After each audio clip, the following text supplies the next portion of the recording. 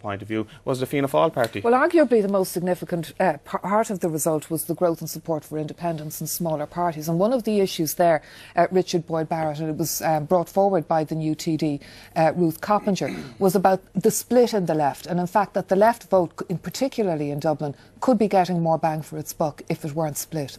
Yeah, that's absolutely uh, true. Uh, but I think, first of all, it is extremely significant that actually the biggest cohort of seats was for independents and others. So we're having an absolutely seismic shift away from the establishment parties, Fianna Fáil, Fine Gael and Labour, I think largely because people correctly feel there's not a, a whit of difference in policy terms between them.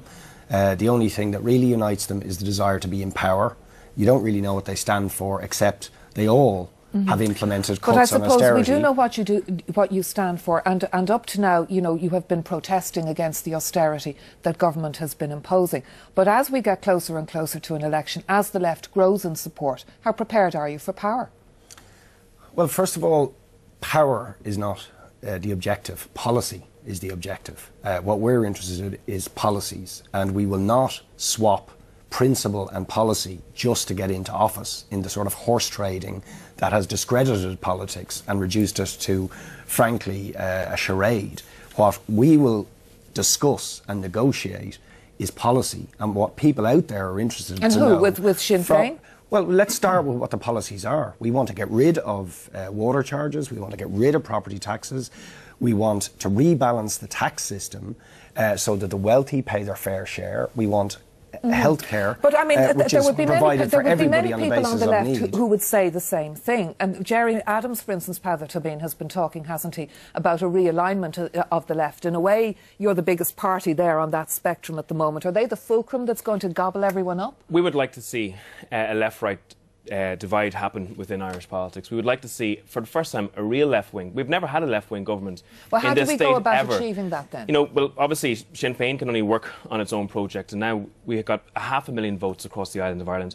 We're the biggest political party on the island of Ireland with regard to council seats. And every single individual living on the island of Ireland Boyd has Barrett a representative. Here. How are you going to achieve that no, unity we, of the left we will and work, deliver a government we that will would work follow those with policies? people on the left on uh, policies, absolutely. But right now, I suppose the left is left is quite fractured in that regard. So it's very difficult to see a stable government uh, developing from the figures that are there now who knows, after a general election, the figures okay. will Richard be better. Boyd Barrett on that one. Well, you see, first of all, I, I, think this fracturedness can be overstated. I mean, nobody asks the question why are Fianna Fáil and Fine Gael not in, in uh, a coalition together? When no, in but fact, I suppose if you look at Paul partners. Murphy and Bríd Smith, there, there was one seat there potentially with two candidates uh, from the left in the field. There wasn't. It, yes, it's unfortunate that Joe Higgins and the Socialist Party left the United Left Alliance. We were very disappointed they did that, uh, and we would hope that they have learned the lesson from the election results that uh, we need unity on the left. And once again, as we have in the past,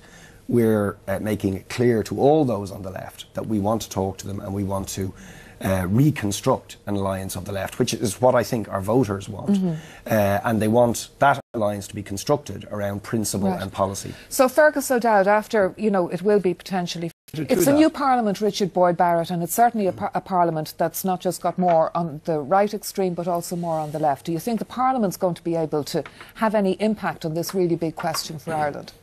Uh, well, I certainly think it's significant that there's been a there's been a, a, large growth of the left across Europe, and that is a signal that it's not just in in Ireland that people are fed up with austerity and cuts to pay off bank debts, uh, but that that feeling is widespread across Europe. But uh, to come back to the commission thing, you see, this is the real issue. I, am not interested in the beauty contest of which personality or which party gets uh, the EU Commission. Not position. even if it made a difference to Ireland. If, for instance, Enda Kenny could get no, that because you see, the, the point about all of the candidates that you're talking about is they all rolled over in front of European diktat, uh, which demanded that ordinary people in this country pay the price uh, imposed by the banks and the financial speculators who caused the economic crisis in the first place. So, why would they behave any different uh, when they get to Europe? What we need is a policy change uh, in terms of how we relate to Europe to insist uh, that we're not paying anymore. Uh, the cruel price that ordinary citizens have been forced to uh, pay because of the diktats of the Troika, who have defended at every turn mm -hmm. the mm-hmm. interests of banks, financial elites, at a, a cruel cost to ordinary citizens. And Peadar Tóibín, of course, if Enda Kenny were to get the Commission job, it, that was contradicted by the McCabe camp, and there have been subsequent phone calls. And I understand Sergeant McCabe is now happy that his harassment complaints, which he has brought, uh, are being dealt with. But does that show, uh, as Mick Wallace was saying in the Dáil uh, during the week, Richard Boyd Barrett, that we need uh, to have a completely new broom at the top in order to change Garda culture? I think there's absolutely no doubt about that at all. Uh, I mean, it was interesting that clip just shortly after the uh, new commissioner made that statement. I was talking on the phone uh, to Maurice McCabe, and he, he was just gobsmacked that she could say that uh, when the absolute opposite was the truth. And he asked me to go into the Dáil because I was speaking in the Dáil shortly afterwards to point out that this was absolutely not true, that he had no contact from the commissioner, he'd only had one contact from senior management, and that was over the pulse system, and that he was being systematically harassed. Mm-hmm. He'd had 13 uh, But even instances. relying on one, so one outsider, you know, to, to come in and change everything at the top, is, is, is, is that enough? No, I t- we need root and branch uh, change. We need a real uh, democratic oversight. So we need to think long and hard about the makeup of an independent police authority, but certainly we need forces external.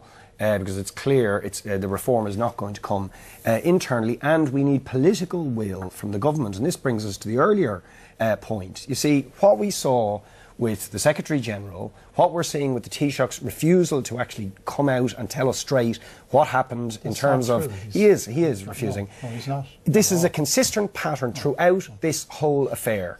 Is the government stonewalling? The government uh, stood by Alan Shatter as he denounced the initially denounced the whistleblowers, as he uh, trying to under, Okay. undermine uh, GSOC, as he denounced uh, Clare Daly and Mick Wallace for bringing the issues up in the first place. This has been the pattern all the way along. Okay, well, Fer- Fergus O'Dowd, Sure. you, you say that's not true there with Richard Boyd Barrett. Yes. Answer me one question then. Why did Enda Kenny send Brian Purcell to Martin Callinan? Why? Enda Kenny has said that it was on foot of the information which was given to him by the Attorney General. And he also said that all. that is can I just, absolutely no, you- illo- no, but that is absolutely either I can- illogical. As, an- well, oh, no, because okay, did can, can I answer the he question, could not have done that about the oh, information, okay. surely, that was brought by What- what the Attorney made- General, because the Attorney General brought him information on the Sunday about the recordings, Yeah. unless there's And other matter you're not well, telling I- us about. No, no, not at all. I think the Taoiseach has made it exceptionally clear. And the Rock